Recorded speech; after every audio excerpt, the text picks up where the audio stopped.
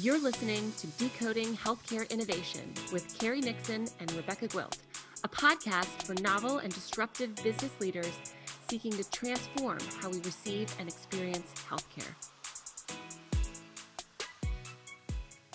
Hi, everyone. I'm Carrie Nixon with Nixon Gwilt Law, and welcome to the latest episode of Decoding Healthcare Innovation. I am delighted today to be joined by Mark and Kristen Engelen. Mark Engelen is the CEO of RX Live, and Kristen Engelen is the Chief Pharmacy Officer of RX Live. They are co-founders and uh, have the the really fun position of being actually a um, a, a, married unit of co-founders, which um, which I always sort of wonder whether that would actually work in my marriage. I think I think probably not, but I'm but it seems to be working for you all, and I'm very glad about that. Um, let me let the two of you uh, introduce yourselves and tell us a little bit about RX Live and really what drove your decision to start this business. So, um, thanks, Carrie. Really appreciate the invite and the opportunity to to come and chat today. Um, like you mentioned, I'm Mark, CEO of RX Live. Um, you know, Kristen will tell a little bit about her story. Obviously, Kristen is the, the clinical pharmacist and the real brains in the operation here. Um, I'm just the, the dumb business guy, but wise thing to say. Wise thing, yeah. A, a while ago, you know, we made the decision to essentially go into the same business line, so we'd have something interesting to talk to each other at the dinner table about. And so, I've sort of built my career in the business of pharmacy, um, having worked for PBMs as well as on the EMR side and sort of really grew up in the the sort of early days of value-based care and understanding sort of the intersection of value-based care and primary care in particular and started to really recognize the role that pharmacy and the underserved role that pharmacy and then by extension pharmacists could play in population health and value-based care and that was a, a big part of the origination story of RxLive. Yeah, and Kristen, I think um, you know Mark just mentioned sort of the the role of pharmacy, and I think that role has been um, largely overlooked for a long time. I think that's changing a lot right now. Let me turn it over to you to introduce yourself. We're certainly trying to change that. So, yes, I am Kristen. I am the Chief Pharmacy Officer, and I am a clinical pharmacist. I have been passionate about providing excellent patient care since I started my career as a pharmacist. I worked initially in retail for about a decade, and I have um, a number of special certifications around geriatric care, so caring for the older adult population. And as I worked behind the counter, serving people with complicated medication routines and multiple disease states that they managed, it really became clear that there was a gap between communication between providers and patients and pharmacists have a key role to play in bridging those gaps. So taking that thought and using that to co-found rx live is really how we got started was how to improve collaboration between patients, pharmacists, and their providers to improve medication management. And if we if we take a step back, Carrie, if I may, you know, yeah. like some of the big macro trends that are going on right now, you know, we're seeing significant shortages in primary care providers. Um, pharmacy is a really interesting and unique labor source for clinical care, given the depth and breadth of training that these people have. They're very patient centered in their approach. And so it seems very logical to us, given all of those factors, for just pharmacists to have a deeper role within healthcare outside of the dispensing play that they play in today. Yeah, it seems perfectly logical, right? I mean, people see their local pharmacists all the time. Um, both people who have, you know, sort of a chronic condition that they consistently take medication for, but also people who are just, you know, going in because they have strep throat and they need an antibiotic. And um, you know, I think the pharmacist is one of the healthcare providers that we probably tend to see most frequently, right? So it so it seems like a very obvious match, yet it's been a while in coming. So, um, you know, I'm eager to see this progress because I think it is a really natural connection that makes uh, sense for a lot of people. Um, so, so tell us a little bit about how your business works. Who are who are your target customers and how do you work with those customers? Sure, maybe I'll start and Kristen can then jump in. Um, like we mentioned, you know, with this sort of new emerging role of the um, sort of clinical pharmacist, um, it might seem unintuitive, but our target customers are predominantly risk bearing physician organizations. We think that most major healthcare delivery organizations are going to go through a build by partner decision set over the next decade or so about how do they integrate pharmacists into ambulatory strategies, post discharge models, expand scale from an inpatient perspective. And so, not only does RxLive want to provide services to this cohort of um, organizations that are looking to expand their clinical pharmacy capacity, and so we have a, a telemedicine network now of part time clinical pharmacists that spans about 30 states that we integrate directly into these care delivery workflows. But we also see this persona emerging um, with unmet needs, right? So software that serves them, analytics that serves them, and really, you know, uh, a graduation and a growing up of this function of clinical pharmacy that hasn't existed before needs a sort of tools provider. And so RX Live can come to the table looking specifically at these risk bearing physician organizations with a very collaborative but broad approach that includes telemedicine services, custom built software platforms for the population health pharmacist, as well as analytics tools, and then can bring a very flexible solution set to the table depending where an organization is in their population health life cycle. Yeah, so I find it interesting that you emphasize you're focusing on risk bearing organizations, right? Um, makes a lot of sense given the shift that we're seeing but right now we're still very much in a fee for service realm. Talk to me a little more about why you decided to focus on risk bearing organizations. Um, i think there's probably two key pieces here. Um, i think everything to do with medicare is sort of shifting into a risk-based model so not, not only do we have you know the traditional aco model obviously with the shift from direct contracting to the ACO REACH model, you know, that's going to expand the market there. But even with MIPS, right, um, there's an element of risk being injected into most sort of Medicare and Medicare Advantage patient lives and business models today.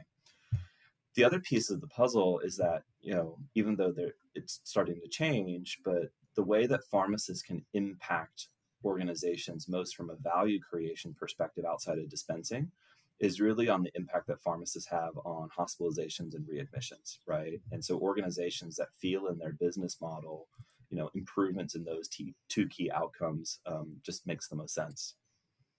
And I would just add that when we think about risk based contracts and value based reimbursement, that's really the way to reduce healthcare expenditures. And we all know that the United States is notoriously um, spending uh, a ridiculous amount of money on healthcare and not necessarily getting outcomes that match that expenditure. So, having an opportunity to work in a space where we are being held accountable for reducing healthcare expenditures, particularly pharmacy spend and to Mark's point, hospitalizations, it's really exciting to be uh, working with that as our goal. It keeps us motivated it helps to keep the patient front and center because if we are improving their health outcomes then we're also reducing costs. They go hand in hand. Yeah i'm sure it's rewarding to work in partnership with um, provider organizations that are sharing your goals right of providing good quality care with reducing costs and, and we know that sometimes um, that can get a little bit lost in in the fee for service model and in a less integrated model. So so it sounds then like maybe you all are not having to really truly deal with part B billing or part D billing. Part D, which is sort of traditionally more oriented um, towards towards pharmaceuticals and, and pharmacists. Uh, can you talk a little bit about that? Yeah, what what we're trying to bring to the market is a philosophy, like Kristen was saying, that is patient centered, right? So if you step back from the equation around reimbursement and ask the question of where does a pharmacist best fit in a patient journey and life cycle, and independent of reimbursement, what would you do? You know, that's where we've started. And um, we have found that sort of a preventative, proactive approach that injects a pharmacist talking to the right patient at the right time creates kind of the, the broader healthcare value. But we also operate in a world, and we've got to be realistic about this, that does require fee for service billing, that does require quality reporting on both the B and the D side. And so what RX Live is, you know, has built from a technology perspective, but then also facilitates from a consulting perspective, is for organizations who want to make these investments, how do you still do that while meeting the realities of operating a modern healthcare business, right? Um, and so uh, we think that technology enables that such that a singular patient driven conversation that focuses on the right things for that patient at that time can also then satisfy whether it's CMR reporting on the Part D side, right, or MIPS reporting on the Part B side, or improvements in HEDIS scores, but is all then driven from that patient centered perspective. And CMS's um, initiatives this year are focused on improving drug price transparency specifically. And they're cross functional initiatives this year. So the intent is to take a more blended approach. And when we're talking about tri- price transparency, clearly the pharmacist has a deep knowledge and understanding of how drugs are priced and how formularies work and what the cost to the patient will be and all of the different pieces of the puzzle for the spend for the pharmacy side. Providers don't have the same tools available to understand pricing. And having a pharmacist speak with the patient uh, ahead of an office visit to talk about things like cost and formulary management really gives the provider a lot of useful information ahead of uh, sending a prescription to the patient's pharmacy. Because then ideally we're going to reduce back and forth on prior authorizations. We're going to reduce um, the time that it takes for the patient to actually get the medication uh, and, and be able to take it and we should be able to reduce pricing or prices to the patient and the system. Yeah, so I love that. It sounds to me, Kristen, like in your capacity as a pharmacist, you are actually able to con- consult with a patient around issues like, you know what, under under your current plan, uh, you know, this drug is not covered, but there's a very similar drug that is covered, and perhaps you can go into a conversation with your physician the next time and say, hey, you know, is it possible that I can take this other this alternative drug because it is less expensive for me it is more affordable therefore i am more likely to get it refilled and actually take it. Is that is that right? Right and i think that that really um, is the traditional definition of medication therapy management. And it's where the pharmacist has uh, traditionally worked for the delivery of um, our services. And uh, Mark mentioned earlier that pharmacists are well positioned to be generalists, similar to a PCP. So, by partnering directly with the doctor, we are able to facilitate the documentation of that conversation in a timely manner. So both the patient is getting a list, a summary of what we talk about, as well as the medication recommendations. And because we work directly with the provider, our note is being uploaded and routed to the provider in their electronic health record. So this is really um, how we implement our telehealth service by remotely providing that information to the to the doctor. And and you know, I think Kristen brings up an important point. Um, you know, if you think about the role of the pharmacist, right? Um, the human element here and the ability of the pharmacist to counsel and get to the root cause of what challenges a patient have around their medication utilization is really important right so there's all sorts of new technology and data streams that physicians are being bombarded with today around cost and formulary and price transparency but what our data suggests, and we're a you know, hyper data driven organization, is that upwards of 60 to 70% of patient adherence challenges are much more around motivation and behavior. And they know what the right formulary design is. They're getting their drugs dispensed. You know, there's all sorts of different tools out there to drive the right utilization and regimen design of a regimen that exists But what a pharmacist can do is sit down and decode those behavioral as well as clinical challenges to maybe redesign a regimen that is more optimal for a patient at both you know the drug level and then obviously at the price level as well. So I suspect that physicians are not really used to pharmacists playing such such an active role with the patients that they see. And I'm curious, how are doctors and, and practitioners reacting to this model? Are they are they receptive or or do you sometimes get a little bit of pushback with them saying, wait, wait a minute, I'm the doctor here, you're the pharmacist. Uh, you know, I need to to be uh, quarterbacking this. So yes, we do occasionally get provider pushback. It is relatively new to have clinical pharmacists working in collaboration with PCPs. Having said that, um, earlier we mentioned that PCPs are having to take on more and more disease state management. Mm-hmm. So, uh, patients who are traditionally going to see a specialist are now actually having a lot of their care provided by the PCP. So, cardiovascular disease, chronic kidney disease, diabetes. And what that means is that these, these patients with these um, complicated uh, comorbidities are taking more complicated medication regimens. And when we increase the complexity and number, sheer number of medications that people are taking, it introduces a lot more risk for medication mismanagement. And that can look like drug side effects, it can look like duplications of therapy, it can look like um, a rushed decision that leaves the patient wondering what it is that they're supposed to be doing and do they understand what each of the medicines are for, which then can lead to difficulties with adherence or, again, poor outcomes like hospitalizations. Uh, there are a number of statistics out there that um, refer to the rate of hospitalizations that are due to medication mismanagement, and it's upwards of a quarter of hospitalizations are related to improper medication use.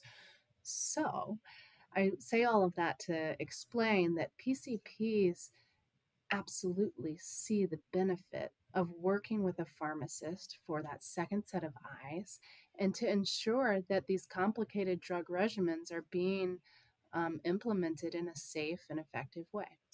The point, and I think a lot of the pushback is really around misaligned business models, right? And so it's about focusing on working with the right organizations who incentivize their providers around value-based care delivery in an appropriate way.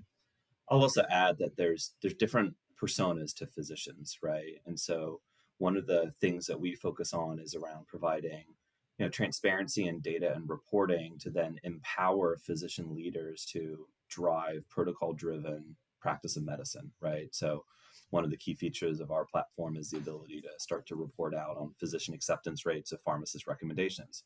And we don't do that to shame providers but rather to start a collaborative discussion around protocol design to ask questions that say hey you know, if we're supposed to be your pharmacist and enabling you to practice medicine and we want to practice pharmacy in the way that you practice medicine, why are you not adopting these recommendations that might be guideline driven? And how can we adjust the way that we communicate with your patients to reflect the way that you practice medicine, both at a micro level and then to enable organizations to do that at a macro and sort of global level as well?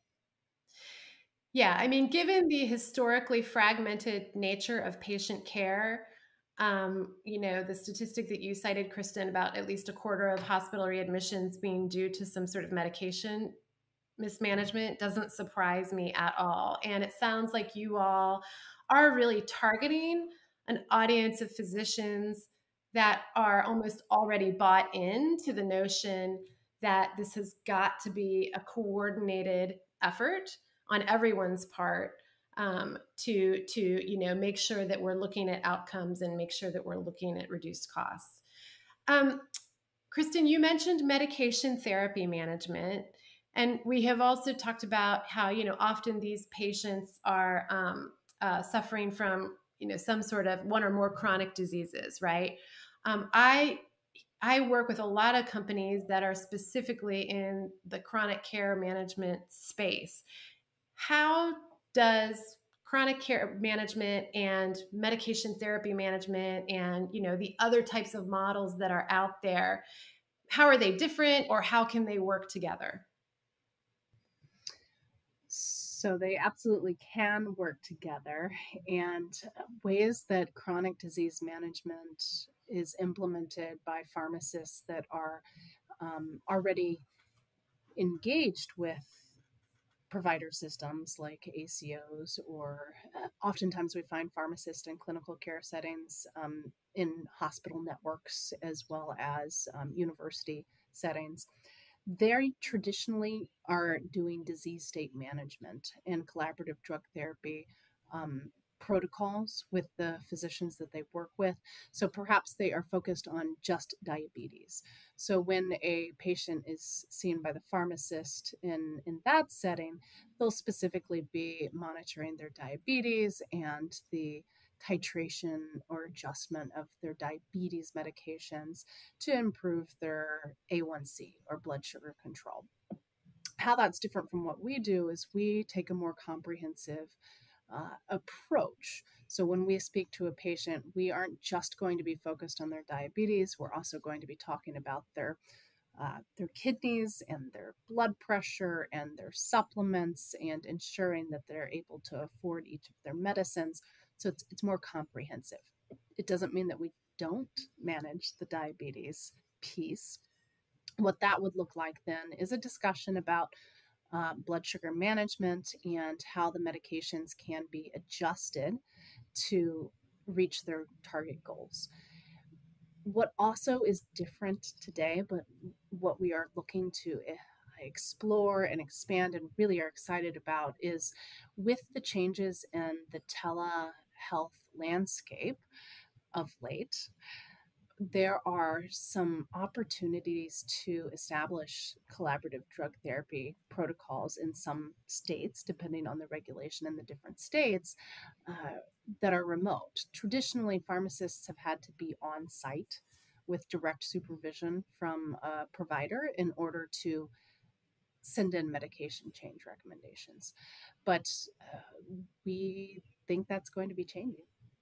Yeah, like many many of the changes that were sort of unveiled during COVID, I think we're seeing that some of these changes might actually be useful in the long run. Excellent. Okay, so I want to end our discussion um, by asking you all if you can point to what you would view as one of your biggest successes um, in in with you know in in managing medication and helping patients and working with physicians to making sure that uh, patients are having the right medication regimen. Um, i'd love to hear an example of, of sort of what you view as one of the biggest successes that you've had thus far you want to maybe take a, a patient case approach and you know, micro and then I'll, I'll share a macro share? Sure sure. So uh, we like to tell stories. So the story uh, when we are able to share specific examples, it just helps to paint this the, the picture. So, a patient that I worked with here in Florida who had multiple providers, who also had um, a language barrier because he primarily spoke Spanish, was hospitalized as a result of medication mismanagement. And following a discussion with myself clinical pharmacist, was able to identify a number of medication problems with, with this patient. He had heart disease, he had diabetes, he had breathing problems, and he was seeing multiple providers.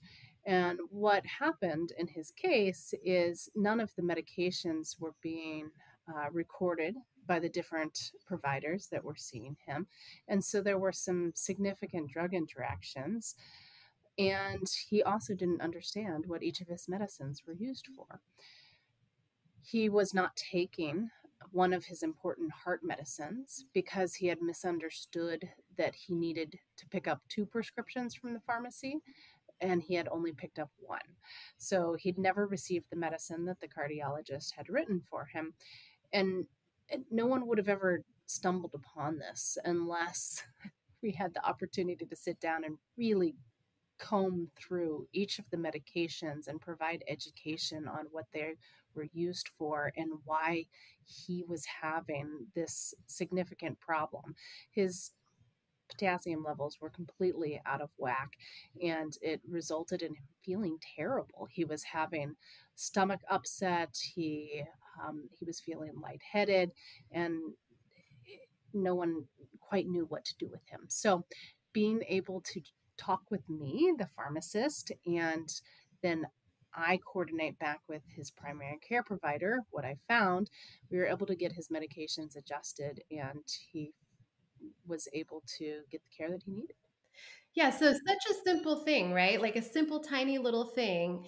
Um, but it takes some unraveling to figure it out, right? You've got to unravel and figure it out and, and get the right thing in place. And it makes such a huge difference. I love stories like that that really do paint the picture you know and and one of the interesting things about pharmacy is that there's not only an intersection with prescription medications but supplement use you know lots of people are using medical marijuana now that has all sorts of implications around it. But what what is so illuminating about kristen's sort of micro story is that it then translates at scale to you know this happening across thousands of patients across massive patient populations right? And so the challenge has always been, you know, I think a lot of people know how to practice clinical pharmacy, but the variability in how it's practiced and the ability to then scale, you know, the right way to practice it is challenging. And so, um, you know, Kristen's story is just part of a much broader population health pharmacy strategy that starts with getting the right data on all these patients, picking the right patients to have the conversation, successfully engaging with the patients, successfully getting physicians to actually adopt you know the change recommendations. And if you do all of those things well then you drive outcomes. And so you talk about success stories for rx live we just published our first paper in the journal of telemedicine e-health that showcased you know meaningful and statistically significant reductions in hospitalization rates in a medicare aco population you know as a result of that whole process being well implemented. That starts with the stories that kristen just shared yeah, terrific. So tell us um, sort of where you are right now in the trajectory of RX Live. Um, uh, are you are you sort of in the middle of a raise? Are you um, you know are you are you focusing on any particular sort of new market right now? Just give us an overview of, of where things stand and where you're looking to go in the next year. Sure. So um, we are fortunate to have just closed a round um, with some pretty um, important strategic partners. Um, we are delighted with um, a number of recent wins, you know, in the ACO space. We've got some really exciting um, deals that we think are about to close, both on the payer side as well as furthering our penetration of kind of the risk bearing physician organization. We've got some really amazing partnerships um, that we're building to start to look into like the self-insured employer space because obviously drug spend and management in self-insured employers is is really uh, important. Um, so you know we're we're at a phase of our life cycle where we're well capitalized, we're investing heavily in our team, and have a really clear direction and product market fit. Um, so it's a it's a very exciting time for us. It's a good place to be. Amazing. Congratulations too. It's it's not an easy play easy thing to get there. I know. Indeed, and um, you know, thank you for being part of the journey too, Carrie. Yeah, absolutely, absolutely. Well, a pleasure to speak with both of you. I really appreciate it. Uh, everyone, you know, please look for information on RX Live in our show notes, and like and follow us wherever you get your podcasts. And we will talk to you again in a couple of weeks with the next episode of Decoding Healthcare Innovation. Thank you. Thanks, Carrie. Thank you.